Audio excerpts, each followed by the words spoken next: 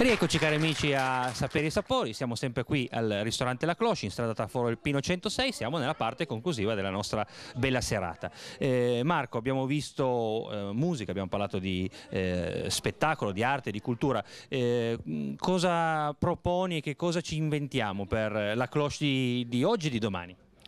E ci inventiamo appunto di, di mettere in piedi questo parola grossa, questo polo culturale multi, multifunzionale dove, dove, appunto dare spazio a queste realtà che oggi invece sono magari un pochino più nell'ombra. Questa è la grande ambizione che abbiamo.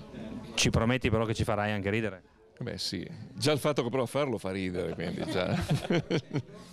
Bene, un grazie eh, a Marco Carena, lo rincontreremo nelle nostre puntate quando torneremo qui alla Cloche a vedere lo sviluppo delle iniziative del locale. Eh, Monica, eh, una battuta conclusiva su, eh, su arte e cultura eh, oggi in Piemonte, focalizziamoci soprattutto sul, sul nostro territorio.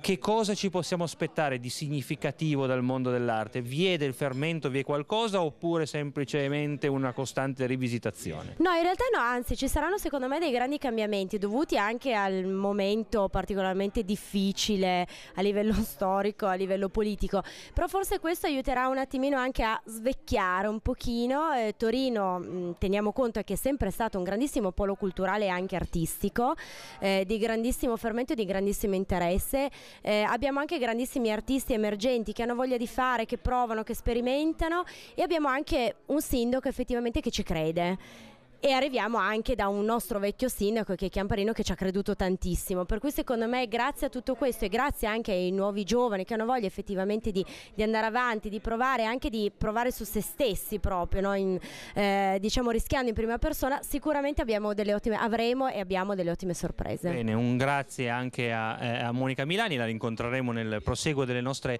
puntate e magari nella stagione che verrà di Sapere Sapori. Eh, e riecco la nostra Elisabetta che cosa ci propone adesso sì Max, siamo arrivati al momento più dolce della serata con il nostro dessert composto da bunette e panna cotta. Bene, molto bene, grazie. eh, veniamo invece a una battuta conclusiva con eh, l'amico Dante Zanetti di Union Model Company eh, che ci continua a seguire durante le nostre puntate di Sapere e Sapori. Eh, che cosa ci Ma aspetti direi, dal futuro di questa sera? della nostra cara amica, è un periodo di crisi, un po', un po' strano, però arrivano le belle giornate, finalmente il tempo si è aggiustato. Direi ai torinesi, ai piemontesi di uscire la sera, di andare da qualche parte, divertirci, svagarsi. I problemi si cercano di risolvere di giorno, la sera andiamo un attimo fuori a respirare. Almeno la sera seguiamo il consiglio eh, anche di, eh, di, Marco Carene e sorridiamo un attimo. Andiamo adesso a scoprire, un grazie a tutti gli amici di, di questa bella tavolata, adesso andiamo a scoprire quali sono attraverso eh, le segnalazioni di Federica e di Elisabetta, quali sono i commenti degli ospiti di questa nostra bella serata alla Cloche. Grazie Max, siamo qui nella sala del tango e sono con due ballerini, voi siete? Paola e Michele. Allora, appassionate di tango? Sì, parecchio, da circa un paio d'anni. Quindi immagino che il momento speciale che vi ha portato qui stasera sia proprio ballare il tango qui, vero? È stato molto carino, molto interessante. Conoscete già questo posto? In realtà io non sono mai venuta, lo vedevo solo passando.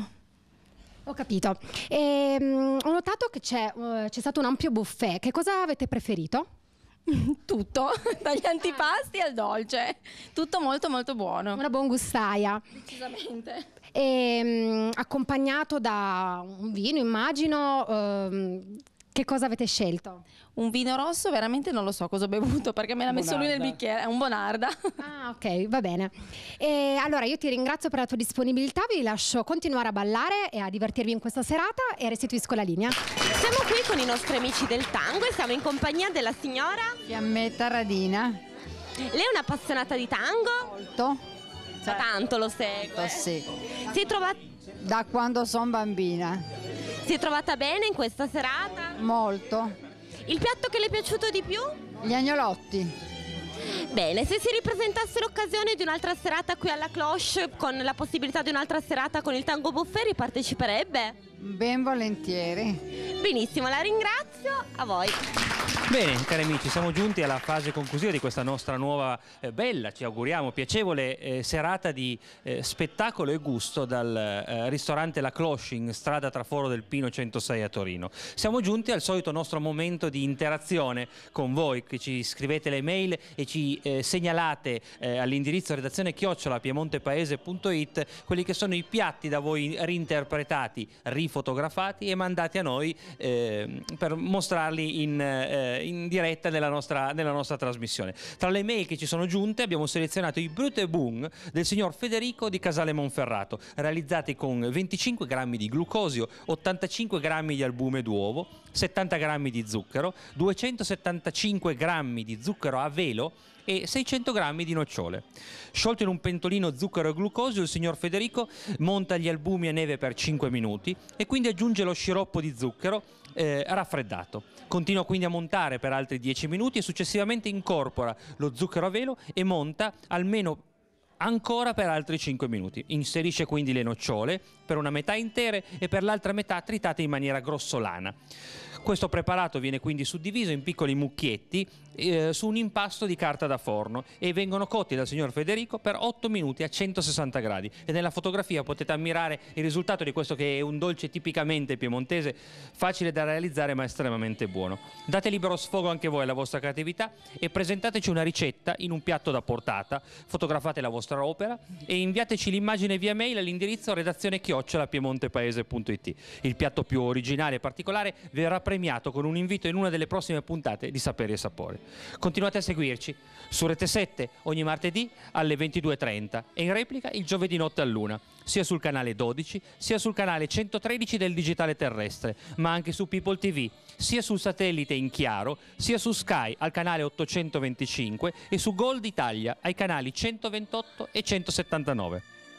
Ci trovate poi anche su Video Nord al canale 72 e su Nord-Ovest VDA al canale 113. Seguiteci anche su internet attraverso il portale internet www.piemontepaese.it e su YouTube al canale Saperi e Sapori e attraverso le segnalazioni dei nostri media partner quali il mercoledì e Però Magazine. Ci vedremo la prossima settimana attraverso l'azzurro cielo del Piemonte. Andremo alla scoperta infatti della Touring Flying School e del ristorante Antica Zecca a Caselle Torinese. Una vera e propria porta piemontese per quello che è il nostro cielo. Bene, siamo giunti alla fine vera e propria della nostra puntata.